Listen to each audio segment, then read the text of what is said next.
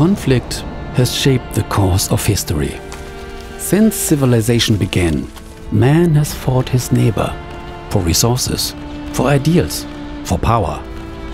As man sought empire and glory, he brought with him war, a romantic ideal, a fight for home and hearth, brotherhood and country, even as new weapons made war more deadly, more horrific. But one thing never changed the need for strategy. An army without a leader is a mob. A battle without a plan is a massacre. It is time to prove your mettle. Time to study war as a science. Time to look ahead to the future rather than turning to the past.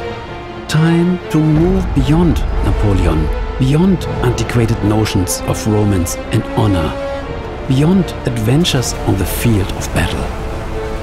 This is a new age where victories are not won with heroism and chivalry, but with blood and iron.